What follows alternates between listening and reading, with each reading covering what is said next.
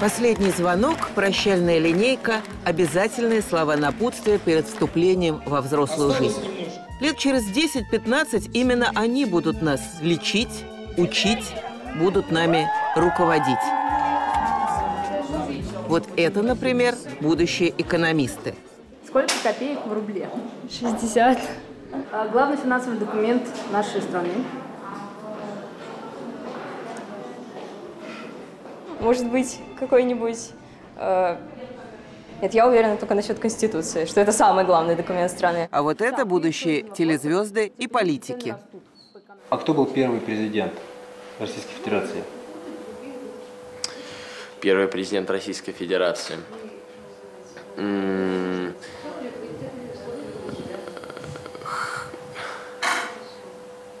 Хрущев, наверное, какой-нибудь, я не знаю. А сколько президентов было в России? Помогите мне. А кто первый был? Что мне делать? А чем измеряется ток? Вольтах. ваттах или вольтах, я физику не знаю, в ваттах, наверное, киловатт. А сколько материков? Ну все, сейчас. Редкий журналист не сделал материала с подобным опросом. Высмеивали барышень, считающих, что солнце крутится вокруг Земли, стыдили молодых людей, забывших дату начала Великой Отечественной войны, ужасались мнению «Холокост – это обойный клей». Клей? Может быть, Холокост. Холокост мне, в принципе, это ни о чем не говорит, Холокост. Недоумевали, ведь разбираются в компьютерах и гаджетах, и вроде не дураки. А подобные ответы все повторяются. А значит, возникают новые вопросы, но уже отнюдь не к школьникам. Кому и зачем нужны такие люди?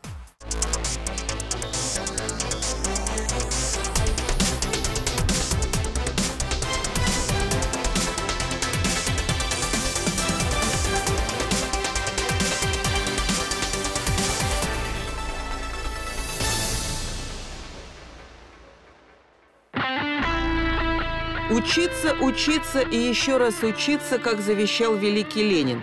В редкой советской школе не висел такой плакат «Любимая мишень для Стеба». Я не завещал, я ручку расписывал.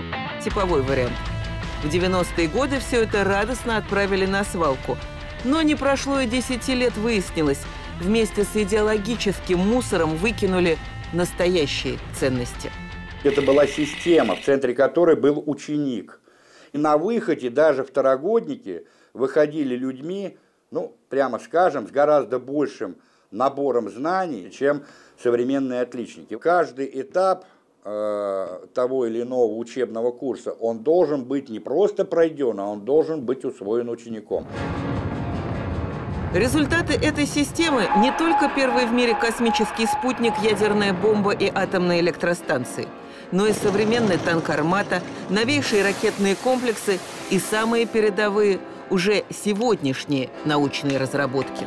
Здесь мы исследовали э, так называемые монолитные кварцевые подвесы пробных масс. Маленький эксперимент, который э, дал вклад в этот огромный проект, в котором участвуют более тысячи ученых с 15 стран мира.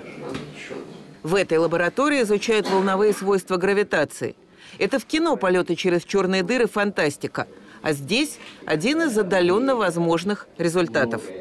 Я ожидала, что уж лаборатории будут вообще все там в блеске, стали, никель, а оборудование, как вот у нас было в школе в кабинете физики сто лет назад. Ну, не совсем так. Все-таки у нас появляются и э, такие современные, вот современные лазеры.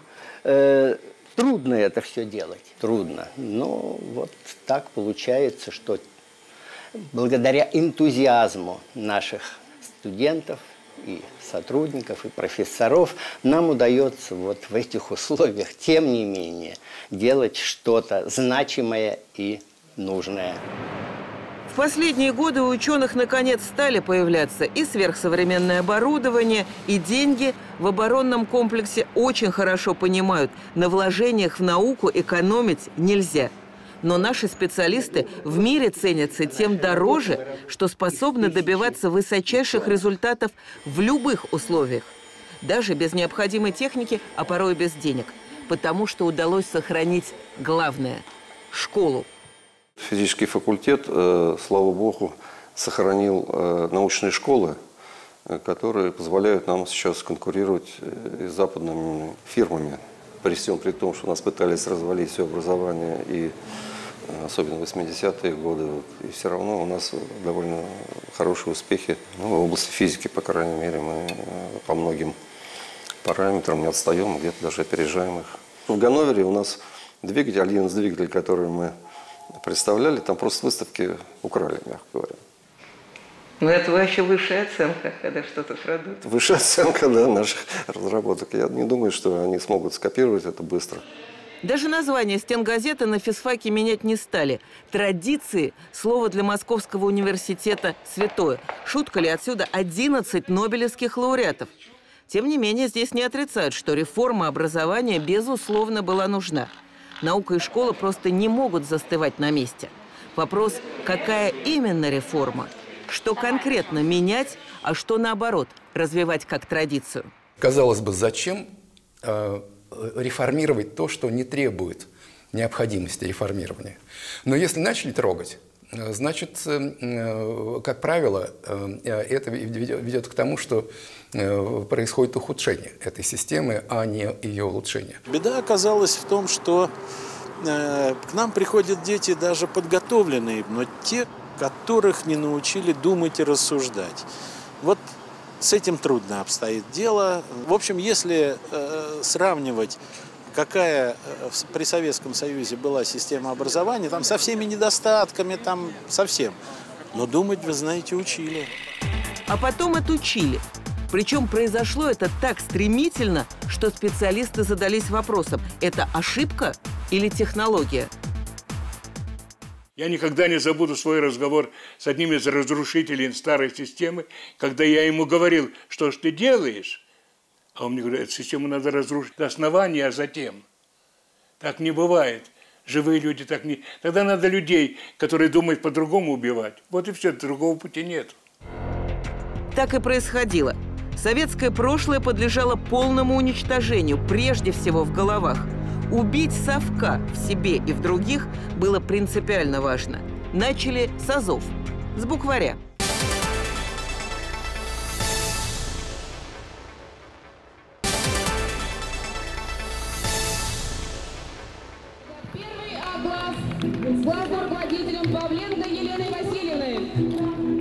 звонок, первая учительница, первый учебник. Мама мыла раму, у сама усы, у Шуры шары.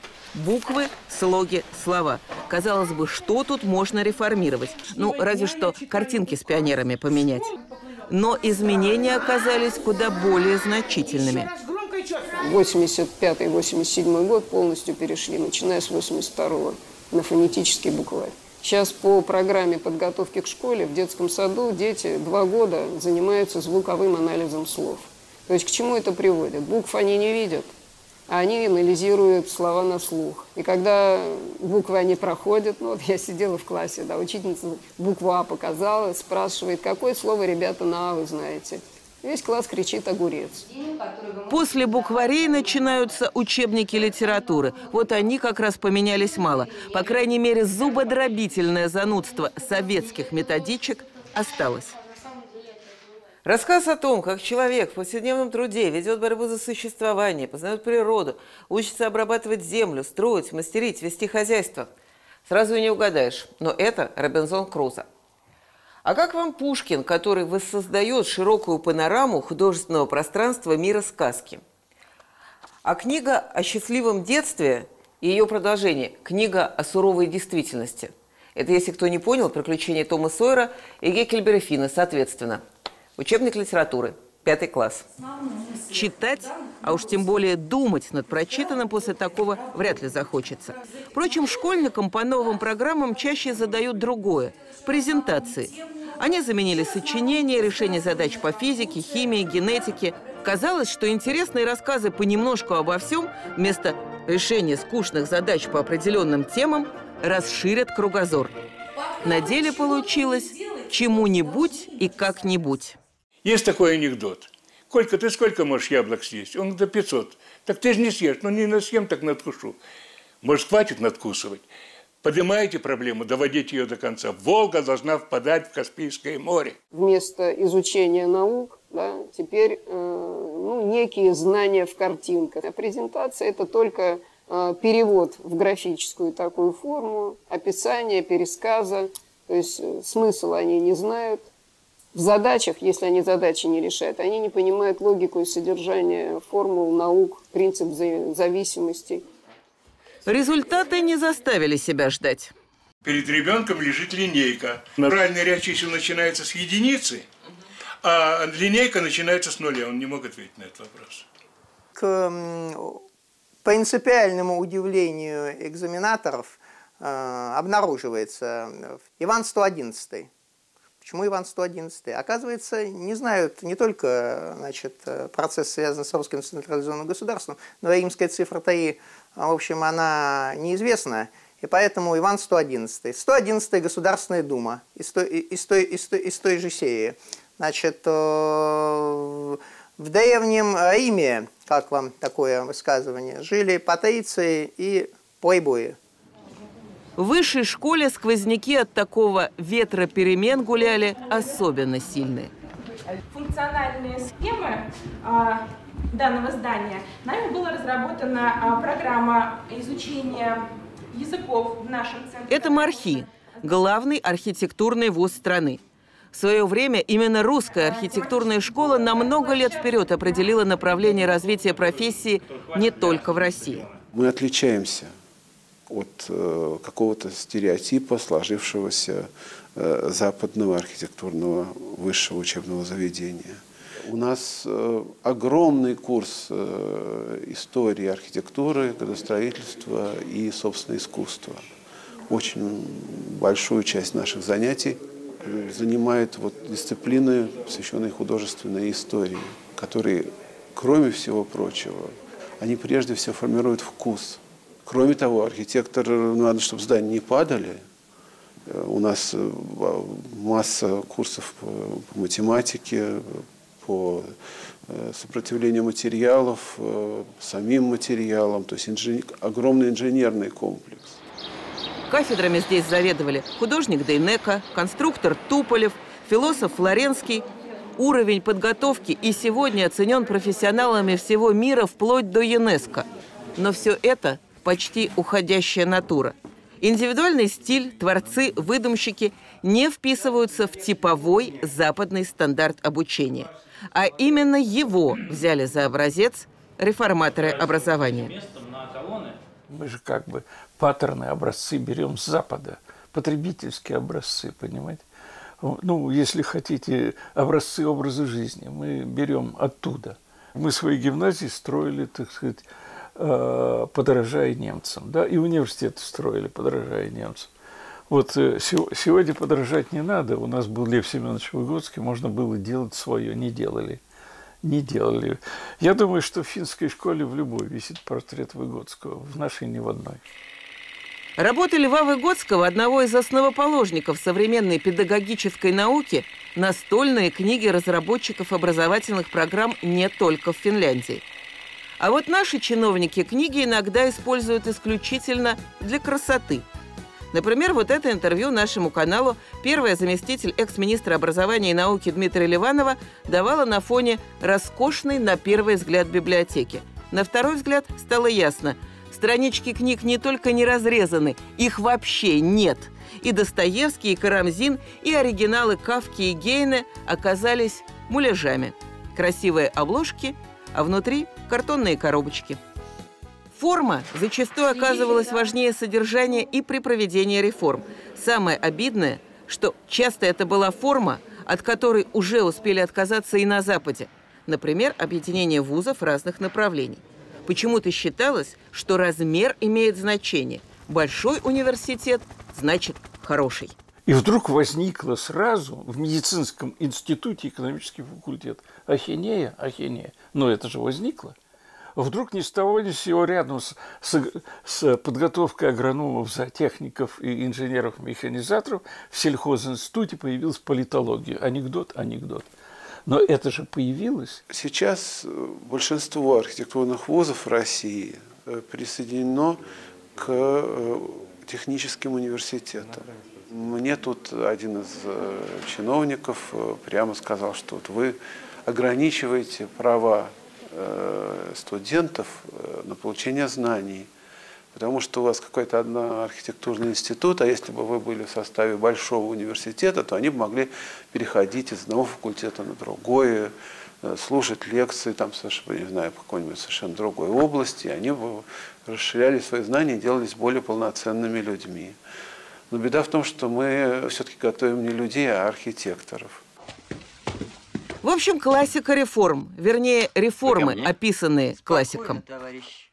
Мы к вам, профессор, и вот по какому делу. Но общее собрание жильцов нашего дома просит вас добровольно, в порядке трудовой дисциплины, отказаться от столовой. Столовых нет ни у кого в Москве. Даже у Исидоры Дункан. А также и смотровой. Кстати, смотровой может соединить с кабинетом. Вполне. Правильно, товарищ? Очень возможно, что Исидора Дункан так и делает. Может быть, она в кабинете обедает, а в ванной режет кроликов. Может быть. Но я и не Исидора Дункан. Я буду обедать в столовой, оперировать в операционной. Передайте это общему собранию. Но для чего танцевать на кухне, учиться на экономиста в меди, на политолога в аграрном университете, а на архитектора в строительном? И при этом открывать тысячи сомнительных высших школ с филиалами чуть ли не в гаражах. Зачем вообще нужен диплом без знаний? Раньше думали, такие вузы нужны, чтобы откосить от армии. Теперь под все это подведена солидная социально-экономическая база.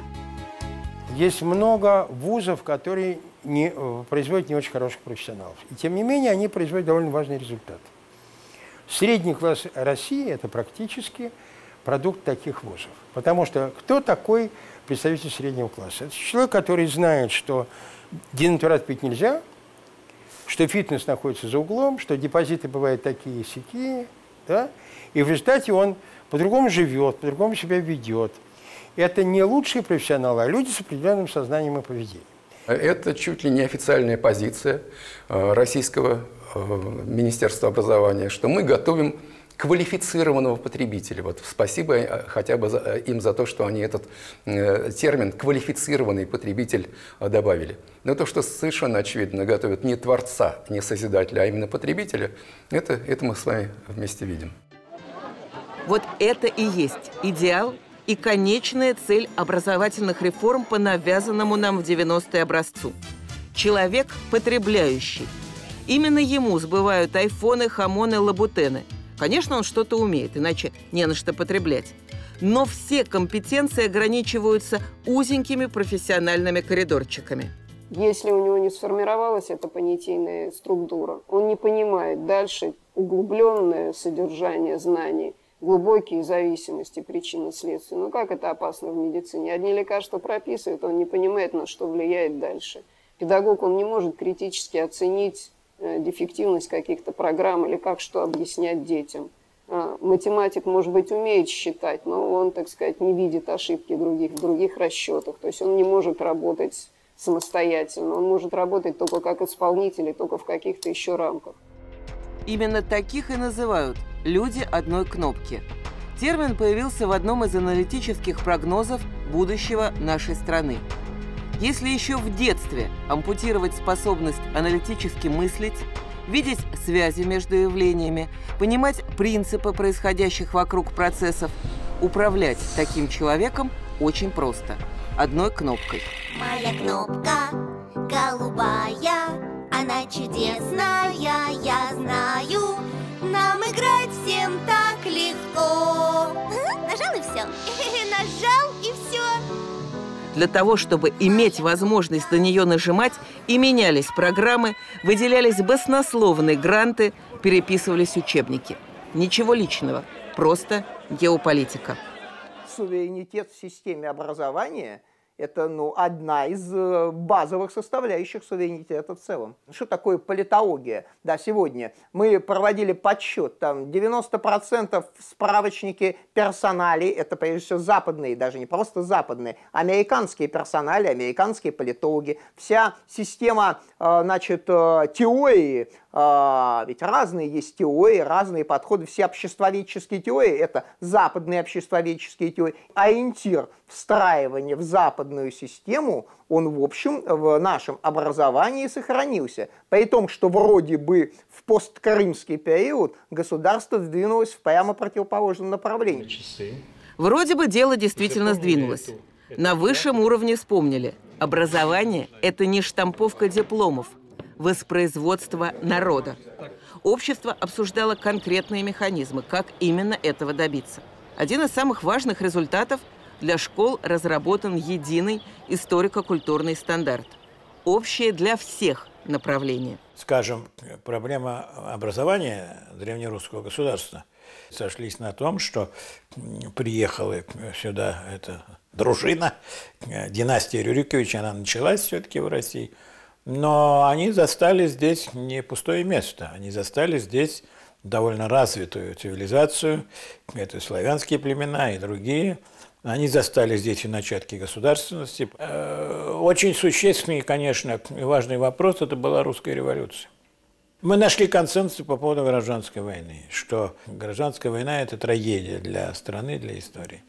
Ну, конечно, довольно большой э, у нас был кусок э, наших внимания, нашего большого, была это Великая Отечественная война. Мы здесь э, довольно твердо и прямо э, записали точку зрения о том, что это была освободительная война, и это всего народа, и здесь нечего делить там, кто не участвовал, кто участвовал, весь народ участвовал. Вот. Я думаю, это имело, и это был консенсус, это одобрили и ветераны наши. А вот дальше по разработанному стандарту стали писать новые учебники. Прежние авторы. Чужие здесь не ходят. Бизнес.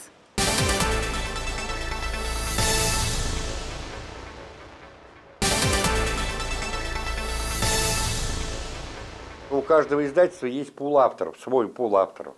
Я же когда пошел, предложил вот свой учебник, а мне сказали, да нет, Евгений, что там выиграют уже издательства, мы уже знаем какие.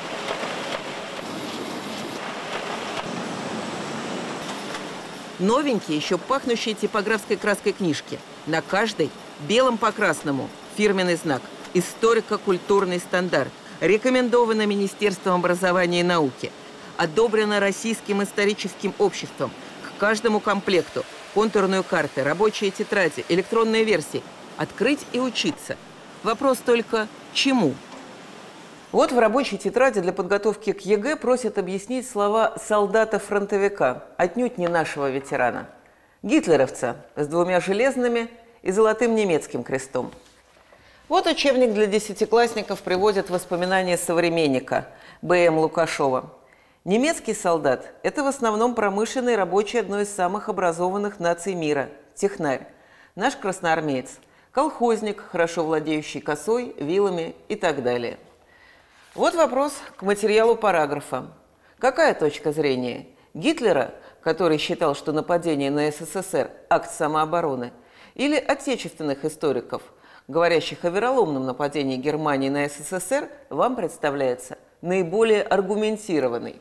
А вот школьников просят отметить имена трижды героев Советского Союза. 50% успеха – это не перепутать Покрышкина и Кожедуба с Зоей Космодемьянской. Все это как минимум вызывает вопросы. Отнюдь не о подготовке к ЕГЭ. Образование изначально всегда решает проблему будущего. Если ребенок сегодня пришел в школу, он через 10 лет только выйдет из школы. Каким он выйдет? А мы какую личность хотим сформировать? Ведь не ответив на этот вопрос, ничего не будет. В конце августа в это здание на Тверской 11 пришла новый руководитель. Министерство образования и науки возглавила до этого редко появлявшаяся в телевизионных новостях, но весьма известная и уважаемая в научной и педагогической среде Ольга Васильева. Работать ей есть с кем. Учителя, они ведь э, с радостью вернутся к логическим программам, когда все понятно, когда все доказательно, и когда и грамотность, и умные ответы, и решения, и все, все обеспечивается. Не надо мучиться. Когда дети учатся, дети учатся с удовольствием. Учительский контингент, он все-таки в основе своей получил еще идущие по инерции от советских времен а, подготовку. Поэтому вопрос о системе. Кадры еще, с моей, по моей оценке, не потеряны. Кадры именно не как значит, сверхученые, а особо продвинутые индивидуумы значит, в этом научном пространстве, а кадры в массовом, в массовом понимании. Ни, ничего не потеряно значит, в, в этом отношении. И, в принципе, при выстраивании системы, правильной системы, это, в, в общем, э, потенциалы могут быть э, восстановлены. Вот это и есть главная задача, по которой придется сдавать самый важный, по-настоящему государственный экзамен, не списывая у других и без права пересдачи.